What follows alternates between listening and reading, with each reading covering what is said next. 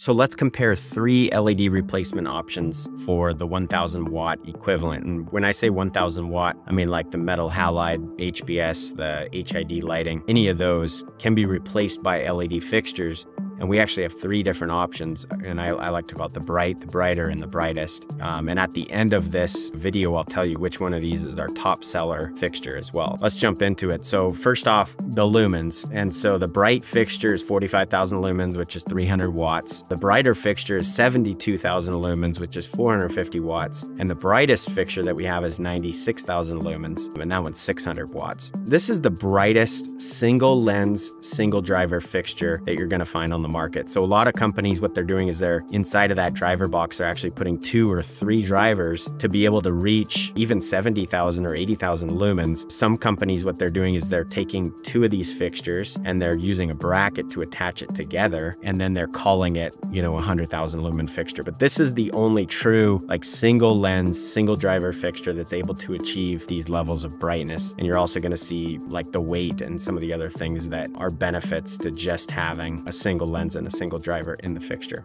All right, the second thing, let's talk about mounting height. The bright fixture can be mounted at 60 feet, and we did a lighting layout, and even at 60 feet, it's putting off 60 foot candles. The brighter fixture can be mounted at 80 feet and still puts off 86 foot candles, and the brightest fixture can be mounted at 100 feet, and that has a reading of 105 foot candles. So this is just kind of what we suggest is that this would be mounted at 60 feet, the brighter fixture at 80 feet, and the brightest at 100 feet. But we've seen even up to 130 feet. And you can get away with even putting the bright fixture at 80 feet. You might have a little bit less lumens, but some people are happy with that. Typically with a thousand watt metal halide or HPS or HID light, you're going to be getting drastically less depending on the mounting height. So when we do audits in industrial facilities and we measure the lighting levels underneath underneath the 1000 watt high bays, depending on the ceiling height, we're getting a lot of times we're getting foot candle readings like 15 foot candles. Sometimes if you go even higher, like if you're at, let's say, uh, 80 feet, we're getting readings of less than five foot candles. So it's very, very dark in these buildings. And that's just because the old technology doesn't direct the lumens and it can't get the lumen down to the working plane. So when you look at these, these foot candle readings, it's unbelievable how bright it can be even mounted at that height. 60 foot candles all the way up to 100 foot candles that we can get with our fixtures, it's going to be like 10 times brighter than what you're used to in your facility.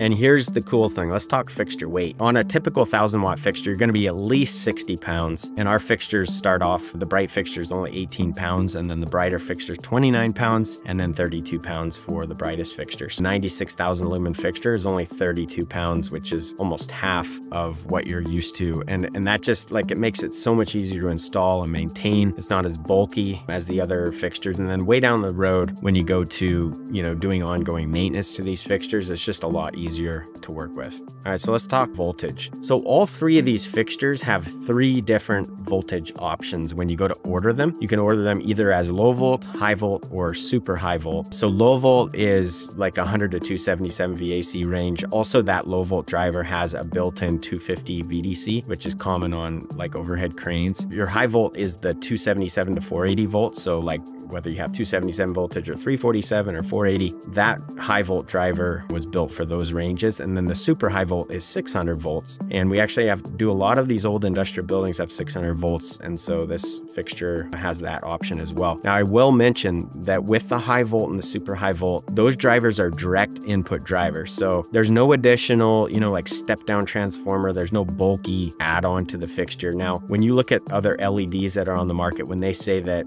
hey, we offer high volt a lot of times what they're doing is they're including an additional step down transformer or some bulky add on to the fixture. And so if you look closely at the specs, the fixture weight on the high volt fixtures a lot of times is going to be like 70 pounds all the way up to 90 pounds. You're like, how is that possible? That's because they're taking the fixture and they're making these add ons and putting transformers on them. So our fixtures, the driver is direct input, which means that the weight of the fixture doesn't change. So even the high volt fixture, the super high volt fixture is still going to be right around the 18 pounds all the way up to 32 pounds is like the max. So we're two to three times less, way easier to work with and install and maintain.